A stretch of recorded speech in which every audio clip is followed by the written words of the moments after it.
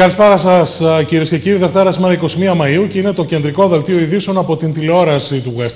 Η πρόταση της Σκοπιανής πλευράς για την ονομασία Δημοκρατία της Μακεδονίας του Ήλιντεν έφερε τα πάνω κάτω στη δημοκρατική διελκυνστνίδα του ονοματολογικού και ενδεχομένως ευνηδίασε την Αθήνα. Ωστόσο, οι επόμενες ημέρες θα κρίνουν ποια θα είναι η έκβαση των διαπραγματεύσεων που πλέον θα λάβουν καταιγιστικούς ρυθμούς. Ήδη έχει προγραμματιστεί νέα συνάντηση των Υπουργών Εξωτερικών Νίκο Κοτζιά και Νίκολα Δημητρόβ για τις 24 Μαου στη Νέα Υόρκη μαζί με τον ειδικό απεσταλμένο του Γενικού Γραμματέα των Ηνωμένων Εθνών, τον Μάθιου Νίμιτς. Θα το δούμε το θέμα, κυρίες και κύριοι. Καλησπέριζοντα στο σημείο αυτό τον συνάδελφο δημοσιογράφο, τον Θεόφιλο τον Παπαδόπουλο. Καλησπέρα, Θεόφιλε. Καλησπέρα Δημήτρη, καλησπέρα στους φίλους τηλεθεατές. Λιγότερο από 48 ώρες άδεξε το Ήλιντεν, δημιουργώντα βέβαια πολλά προβλήματα στην κυβέρνηση, αλλά και παράλληλα έθεσε σε κατάσταση εγρήγορους στου Έλληνες για το τι θα επακολουθήσει. Να τα δούμε αναλυτικά τα θέματα, γιατί είναι και έντονε οι αντιδράσεις και από την πλευρά της αντιπολίτευσης. Αυτό ήταν δεδομένο ότι δεν θα κυριαρχήσει στην πολιτική επικαιρότητα η ονομασία Μακεδονία του Ήλντεν. Ήταν πολύ φυσιολογικό με δεδομένο το ότι από μέσα από αυτή τη διαδικασία, από μέσα από αυτή την ονομασία, πηγάζει μεγάλη δόση αλυτρωτισμού, αν μπορέσουμε να πούμε ότι ο αλυτρωτισμός έχει και γίνεται με δόσεις. Ο αλυτρωτισμός είναι ένας και αυτός. Δεν υπάρχει ούτε δόση, ούτε μικρότερη, ούτε μεγαλύτερη. Άρα λοιπόν η κυβέρνηση, δοκιμάζοντας τις πολιτικές τη αντοχές της, διαπίστωσε ότι δεν έχει τέτοιες πολιτικές αντοχές, δεν μπορεί να πορευτεί με αυτή την πρόταση, άσχετα αν αυτή την πρόταση την καλοέβλεπε η σκοπιανή πλευρά και η αντιπολίτευση και η συμπολίτευση, αυτό που θέλει η κυβέρνηση, και θα προχωρούσε ανάμεσα στη διαδικασία αναθεώρησης του συντάγματος. Αυτό δεν συνέβη στο εσωτερικό της χώρας μας. Με πρώτο και καλύτερο τον πρόεδρο της αξιωματική αντιπολίτευσης, τον Κυριάκο τον Μητσοτάκη, ο οποίος δήλωσε ότι είναι απαράδεκτο ή και μόνο η κουβέντα γι' αυτό δεν πρέπει να γίνει. Ακολούθησε ο Δημήτρης ο Κουτσούμπας, το Κομμουνιστικό Κόμμα Ελλάδος, τη σκητάλη πήρε η φόφη γεννηματά το κίνημα αλλαγής και ακολούθησε και ο Βασίλης Λεβέντης. Αυτός ο οποίος είναι διφορούμενος και συνεχίζει να εφίσταται και έχει βρει έναν απρόσμενο σύμμαχο είναι ο Θοδωράκης μαζί με τον Βενιζέλο. Οι δυο τους ήταν υπέρ αυτής της άποψης, αλλά δυστυχώς να βάγισαν οι προσδοκίες οι δικές τους. Τώρα η κουβέντα ανοίγει και ανοίγει μια κουβέντα και επανερχόμαστε στην αρχική κατάσταση. Ποια είναι η αρχική κατάσταση, ήταν η συνάντηση που πραγματοποίησαν οι δύο υπουργοί, ο κ. Δημητρόφ μαζί με τον κ. Κοτσιά, υπό τον Μάθιου Νίμιτς, τον ειδικό διαμεσολαβητή του ΟΗΕ, ο οποίος είχε ρίξει στο τραπέζι τότε πέντε ονόματα. Και ίσως αυτό είναι όμως που έγινε τώρα, ότι απορρίψαμε στι 48 ώρες το συγκεκριμένο όνομα και πάμε στα πέντε του Νίμιτς τώρα. Τώρα επανερχόμαστε, θα βρεθούν στο τραπέζι αυτά τα πέντε ονόματα. Άνω Μακεδονία, Κάτω Μακεδονία, Νέα Μακεδονία, Δεξιά, Αριστερά Μακεδονία. Δεν ξέρω τέλος πάντων τι γίνεται. Η αλήθεια είναι ότι η ελλαδική πλευρά έχει μια πολύ ε, συνθηκολογημένη στάση, δηλαδή δεν ψηφίστηκε για αυτό να συνδικολογεί και ξαφνικά διαπιστώνουμε ότι θέλει να συνδικολογήσει, θέλει σώει και καλά να κλείσει με σύνθετη ονομασία, ενώ σύσσωμο το υπόλοιπο κομμάτι της πολιτικής ζωής είναι ενάντια σε αυτή, την κατα... σε αυτή την κατάσταση. Εγώ εκτιμώ και επανέρχομαι. Η πρόταση η οποία θα κυριαρχήσει και το απέφχομαι αυτό στην κυριολεξία Δημήτρη είναι αυτό που υπόθηκε. Όταν ξεκίνησαν ακόμη οι συνομιλίες, δόθηκε ένα ένασμα για να ξεκινήσουν οι συνομιλίες από τον κύριο Παναγιώτη Γουρίδη, ο οποίος είναι ο ηθήνων νους των ΑΝΕΛ, ο οποίος σε μια τηλεοπτική του παρουσία είπε ότι η πρότασή μας για την ονομασία των Σκοπιών θα είναι Βαλκανική Κεντρική Δημοκρατία, ουσιαστικά διαφοροποιώντας την πρόταση του Μιχάλη Χαραλαμπίδη που έκανε λόγο για δημοκρατία της Κεντρικής Βαλκανικής. Όμως, ο κ. Γκουρίδης δεν μας είπε και δεν μας φανέρωσε το άλλο. Το άλλο ποιο είναι, ότι θα υπάρχει αυτό, αλλά στο εσωτερικό της θα είναι δύο ομόσπονδα κρατήδια. Το Ελληνικό και το Σκοπιανό. Καταλαβαίνουμε ότι είναι αυτό πάρα πολύ πιο άσχημο και σε ό,τι αφορά ας πούμε, τα άλλα ονόματα που κουβεντιάζονται. Βλέπουμε λοιπόν ότι από μόνη της η ελληνική πλευρά θέλει να αυτοπαγιδεύεται γιατί έτσι τη βολεύει. Έτσι εντέλεται από τους Αμερικάνους και καλή ώρα και τους Και θα δούμε ποια θα, να τι θα προκύψει από Τώρα, τη συζήτηση 24 Μαου. Γιατί και εκεί το επίκεντρο είναι πολύ σημαντικό. Τι θα πει ο Κοτζιάς με τον Δημητρόφ στη Νέα Υόρκη; Τώρα όλα αυτά βέβαια τι κάνανε; Αναθεωρήσανε, ξαναζεστάνανε τους πολίτες, τους Έλληνες πολίτες, οι οποίοι συμμετείχαν στα δύο συλλαλητήρια, τα ογκώδη συλλαλητήρια της Θεσσαλονίκης και των Αθηνών και βρίσκονται σε μια κατάσταση εγρήγορσης, stand-by, με δεδομένο το ότι οι εξελίξεις τρέχουν. Αυτό βέβαια μην ξεχνάμε ότι το θέμα της, των εξελίξεων γύρω από το ονοματολογικό το παρακολουθούν οι παπακεδονικές ενώσεις από πάρα πολύ κοντά και είναι ανα πάσα στιγμή έτοιμες να επέμβουν. Θα έχουμε πολλά το επόμενο διάστημα. Και δυστυχώς στη Δυτική Μακεδονία βλέπω ότι υπάρχει μια περίεργη σιωπή. Σιωπή που ξεκινάει πρώτα από τους ερετού του πρώτου βαθμού, πηγαίνεις στους ερετού του δευτέρου βαθμού και μετά στο πολιτικό προσωπικό, στους 10 βουλευτές οι οποίοι δεν ομιλούν, σιωπούν. Δεν μπορώ να το καταλάβω. Θα δούμε τι θα γίνει, τι θα Έχουν πούνε. επιλέξει αυτή, αυτή τη σιωπή. Ωραία. Τώρα, επίγουσα προκαταρκτική εξέταση για την επίδυση βάρους του Δημάρχου Γιάννη Μπουτάρη, παρήγγειλε ο προϊστάμενος της Εισαγγελίας Πρωτοδικών Θεσσαλονίκης, Λάμπρος Τσόγκα. Σύμφωνα με την έγγραφη παραγγελία του προς την Εισαγγελία Ποινική Δίωξης Κατερίνα Μάτσι, ο προϊστάμενο της Εισαγγελίας Πρωτοδικών ζητεί τη διενέργεια έρευνας από τη Διεύθυνση Κρατικής Ασφάλειας Θεσσαλονίκης για τη διέρνηση ποινικών ευθυνών τόσο για τους φυσικούς όσο και για τους ηθικούς αυτοβουργού της επίθεσης. Να πάμε σε αυτό το σημείο να δούμε τα σχετικά πλάνα ε, της επίθεσης του Δημάρχου Θεσσαλονίκης του Γιάννη Μπουτάρη και επιστρέφουμε.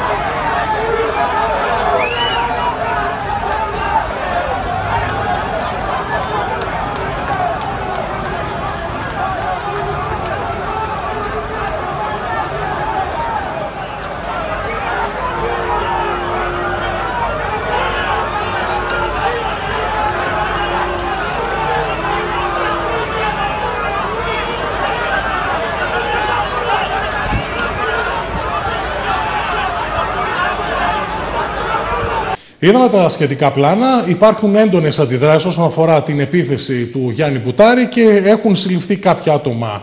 Ε, Θεόφιλε, αφέθηκε ελεύθερος ένας ανήλικος και μένει να δούμε πλέον ποιες θα είναι οι εξελίξεις. Καταρχάς, ε, είχαμε ένα συμβάν το οποίο έλαβε χώρα το Σάββατο 19 Μαου, ημέρα μνήμης της γενοκτονίας του ποντιακού ελληνισμού. Μια μεγάλη στιγμή για τον ποντιακό ελληνισμό, ο οποίος κάθε χρόνο την ίδια μέρα συγκεντρώνεται στην πλατεία Αγίας Σοφίας να αποτίσει μέσα από μια σεμνή τελετή, από μια σεμνή εκδήλωση φόρο τιμής στα γενοκτονημένα θύματα, τους 353.000 οι οποίοι χαθήκαν από τον Κεμάλ Ατατούρκ, από την πρώτη ιδεολογία θανάτου στον κόσμο και μετά ακολούθησε βέβαια ο νασισμός. Όλα αυτά, όπως ήταν φυσιολογικό, δημιουργούν και μια ένταση. Όμως, τα συμβάντα που λάβαν χώρα και είχαν σαν επίκεντρο τον Δήμαρχο Θεσσαλονίκη, τον κύριο Μπουτάρη, είναι συμβάντα τα οποία είναι καταδικαστέα. Ο προπυλακισμό που δέχτηκε από μια μερίδα ατόμων σε καμία, μα καμία περίπτωση δεν εκπροσωπεί τον ποντιακό ελληνισμό και σε καμία, μα καμία περίπτωση, Δημήτρη, δεν αμαυρώνει και δεν ακυρώνει την ποντιακή διάσταση της 19η Μαου. Αυτό εξυπακούεται. Σε καμία περίπτωση δεν υιοθετούμε τον προπυλακισμό και τον καταδικάζουμε και εμείς προσωπικά. Αυτά είναι γεγονότα τα οποία δεν τιμούν την Ελλάδα, τον ελληνικό πολιτισμό, το ελληνικό πνεύμα. Όμως, Δημήτρη, θα πρέπει εδώ να σταθούμε σε ένα βιντεάκι το οποίο από το Σάββατο το βράδυ σαρώνει στην κυριολεξία το διαδίκτυο και τα social media. Ένα βιντεάκι το οποίο εγώ η πρώτη μου επαφή μαζί του είναι πριν περίπου ένα χρόνο μέσα από την ηλεκτρονική εφημερίδα αυτοδιοίκηση.gr. Δηλαδή είναι η επίσημη ιστοσελίδα του χώρου της αυτοδιοίκησης όπου δημοσιεύονται όλες οι ειδήσεις. Σε αυτό το βιντεάκι παρουσιάζεται ο Δήμαρχος Θεσσαλονίκης, ο κ. Μπουτάρη, να δηλώνει στα αγγλικά ότι και ας μου επιτραπεί εκ των προτέρων η έκφραση που θα χρησιμοποιήσω, δεν είναι στο λεξιλόγιο με αυτές οι εκφράσεις, χέστηκα αν σκότωσε ο Έλληνες ή όχι ο Κεμάλ. Αν αυτό υπόθηκε και δεν είναι προϊόν μονταζιέρας, τότε ο κύριος Μπουτάρης θα πρέπει να λογοδοτήσει. Όπως λοιπόν με μεγάλη ευκολία, αμέσως αμέσως μετά το συμβάν του προπλαγισμού του κύριου Μπουτάρη, το οποίο μας βρίσκει διαμετρικά κάθετος και αντίθετος αυτό που του συνέβη.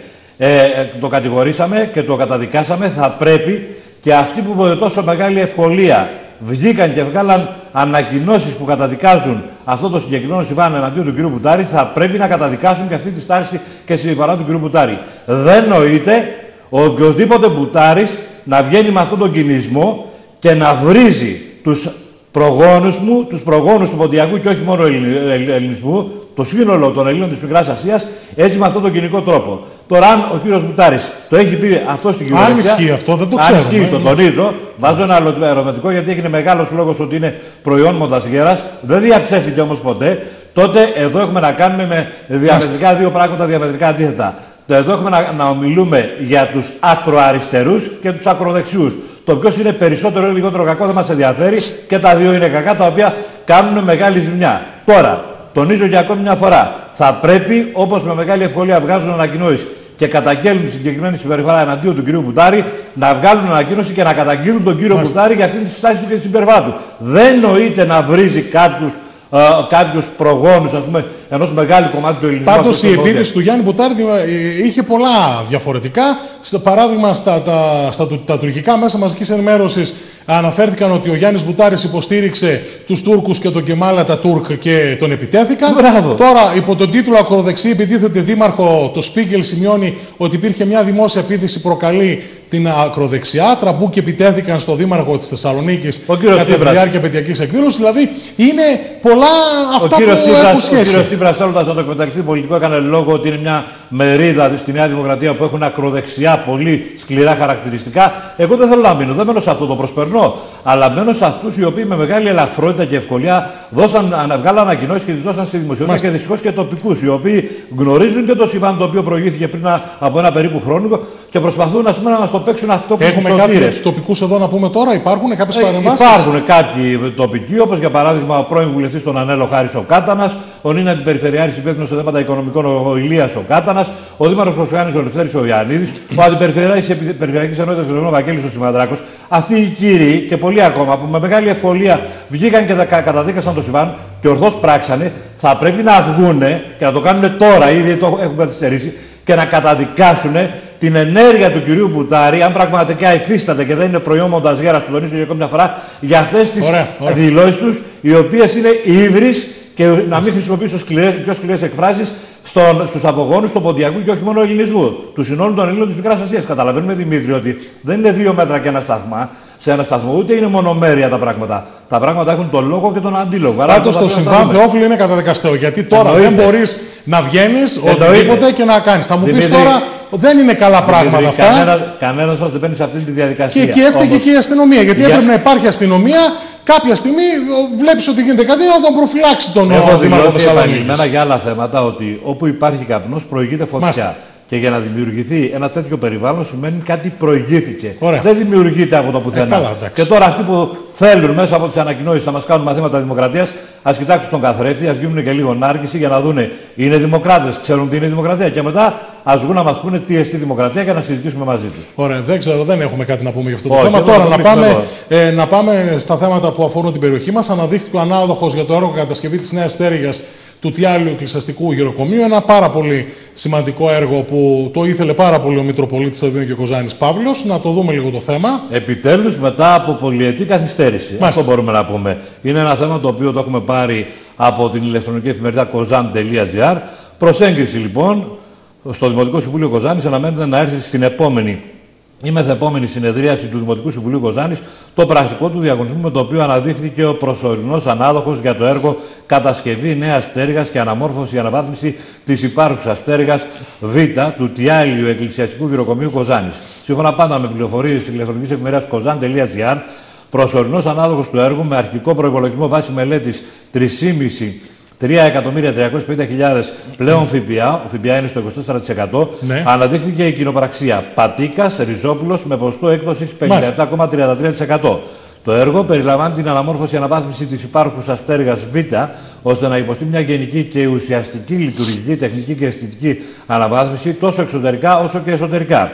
Επίσης, αφορά στην κατασκευή νέας πτέρυγα που θα είναι ένα διόροφο κτίριο με υπόγειο αλλά και με τις απαραίτητες διαμορφώσεις στον περιβάλλοντα χώρο. Τέλος, εντάσσεται στον άξονα προτεραιότητας προώθηση της συνολικής ένταξης και καταπολέμησης της φτώχειας του επιχειρησιακού προγράμματος Δυτική Μακεδονία 2014-2020 και συγχρηματοδοτείται από το Ευρωπαϊκό Ταμείο Περιφερειακής Ανάπτυξης. Το γνωστό σε όλους το ΕΤΠΑ. Είναι θετικές οι εξελίξεις που αφορούν το Τιάλιο γυροκομείο. Τώρα να πάμε στη Νέα Δημοκρατία να τα δούμε επιγραμματικά γιατί έχουμε στη συνέχεια και ρεπορτάζ. Στα Θρανία κάφησαν χθες τα στελέχη της Νέας Δημοκρατίας στην Κοζάνη αλλά και στη Φλόρινα που βρέθηκαν στελέχη της Πολιτικής Ακαδημίας. Να το δούμε το ρεπορτάζ και έχουμε στη συνέχεια και βίντεο. Στα Θρανία, όχι μόνο στην Κοζάνη, στο σύνολο της Δυτικής Ναι, Μακεδονίας. και στη Φλόρινα Ήταν και υπήρχε, στη για- Φλόρινα. Το ναι. θέμα είναι ότι η Νέα Δημοκρατία αλλάζει ας πούμε, στάτους όσο αφορά την διαδικασία Μάλιστα. και τη λειτουργία στο εσωτερικό των κομμάτων. Μετά το Μητρό Τελεχών, στο οποίο σιγά σιγά, διε- το οποίο σιγά σιγά διευρύνεται σε όλο το φάσμα της ε, χώρας, στο εσωτερικό της χώρας, να πούμε ότι έχουμε και μαθήματα. Μαθήματα που σημαίνει πολιτικά θρανία. Αυτό είναι ότι καθίσαν τα στα δούμε θρανία τα άλλωστε στελέχη στο της Νέας βίντεο Δημοκρατίας. στην, ε, συνέχεια. Αυτό που κρατάω είναι η δήλωση που έκαναν βέβαια τα στελέχη και πιο συγκεκριμένα ο κύριος Νίκος Τιαχιάς, ω αναπληρωτής γραμματέας στρατηγικού σχεδιασμού της Νέας Δημοκρατίας, ότι ο κύριος Τσίπρας είναι επιρρεπής σε λάθη και γκάφε. Ανά πάσα στιγμή οι εκλογές μπορεί να είναι μπροστά μας. Αυτό το είπε στη διάρκεια βέβαια Χθες των στην Κοζάνη. μαθημάτων πολιτικής που έκανε στα στελέχη της Νέας Δημοκρατίας Μάλιστα. που παρακολουθούσαν τα σεμινάρια πολιτικής. Ωραία, να δούμε και άλλες ειδήσεις για να ολοκληρώσουμε. Να έρθουμε στο χώρο της ΔΕΗ, όπου προς πλήρη απελευθέρωση οδηγείται η αγορά ενέργειας μέχρι το 2020. Τι σηματοδοτεί για τη ΔΕΗ και τους αναλλακτικούς παρόχους. Να δούμε όμως τι λέει το ρεπορτάζ. Η συμφωνία με τους θεσμούς προβλέπει ένα σαφές προγραμματιάγραμμα με υλοποίηση ελέγχου πρόοδου, αποκλιμάκωσης και τελικώς απόσυρσης των μηχανισμών που ισχύουν σήμερα στην αγορά ενέργειας. Την υιοθέτηση ενός μεταβατικού καθεστώτος στην αγορά ηλεκτρικής ενέργειας, το οποίο θα διαρκέσει έως και το 2020, σηματοδοτεί η συμφωνία που επετέφθη το απόγευμα του Σαββάτου μεταξύ του Υπουργού Περιβάλλοντος της Ενέργειας του κ. Γιώργου Σταδάκη και των επικεφαλής των θεσμών. Είναι αυτή η περίφημη συμφωνία ότι τα τεχνικά κλιμάκια συμφωνήσαν με την ελληνική κυβέρνηση. Άρα λοιπόν θα τρέξουν τα προαπαιτούμενα, τα οποία είναι και πολλά, το επόμενο διάστημα για να μπορέσει η Ελλάδα να βγει, έτσι λέγεται, καθαρά από τα μνημόνια τον Αύγουστο του 2018.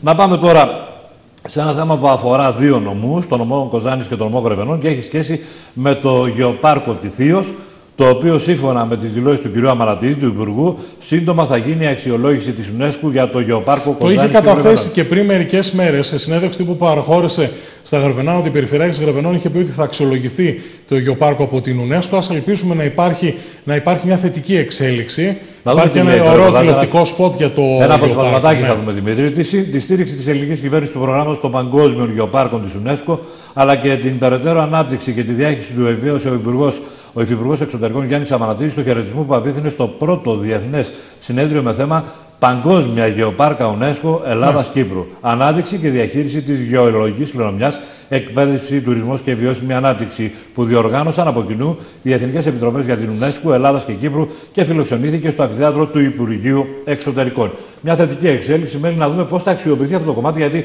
το project, ξέχωρα που αφορά μια πολύ μεγάλη γεωγραφική ενότητα, θα είναι και πολύ υψηλό. Μάλιστα, και δεν ξέρουμε ναι. τι ακριβώς θα προβλέπει. Είχαμε μια πρώτη γεύση, είχαμε φιλοξενήσει παλιότερα τον Γενικό Διευθυντή της Αναπτυξιακής Δυτικής Μακεδονίας, τον Γιώργο Δραμαρατζή, ο οποίος μας μίλησε για τις εξελίξεις γύρω από το γεωπάρκο. Μένει να δούμε βέβαια πού βρίσκεται σήμερα.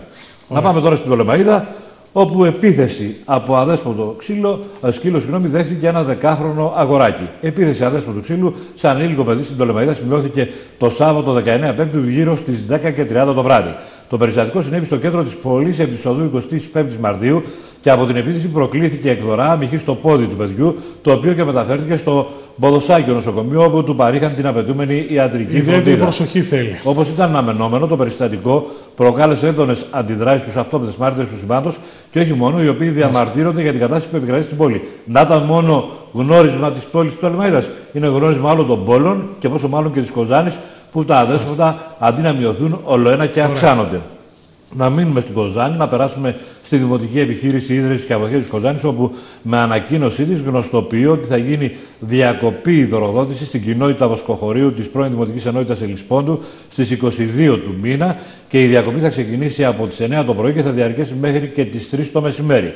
Τώρα, επανερχόμαστε στην Τολεμαίδα, που με μια ανακοίνωση που δόθηκε νωρίς το μεσημέρι στη δημοσιότητα, γίνεται λόγος ότι αναβάλλεται η 20η ανθοκομική έκθεση του Τολεμαίδα. Η αναβολή αφορά βέβαια τα καιρικά φαινόμενα, τα οποία δεν είναι και τα καλύτερα δυνατά. Βέβαια, να πούμε εδώ ότι πολλοί κόσμοι περίμενε πώς και πώς τη συγκεκριμένη έκθεση. Γιατί ε, ίσως πάει για την επόμενη εβδομάδα, τουλάχιστον να υπάρχει καλές μέρες. Τα οποία θα κοσμούν και θα στολίζουν βέβαια το σπίτι του και όχι μόνο. Πάει άστοτος πάντως ο καιρός. Να έρθουμε τώρα σε μια ημερίδα που διοργανώνει ο Σύλλογος Καρκινοπαθών Εορδέας. Ε, το θέμα της ημερίδας είναι τρίτη ηλικία και καρκίνος, πρωτοπαθής και μεταστατικός καρκίνος των οστών και διατροφική.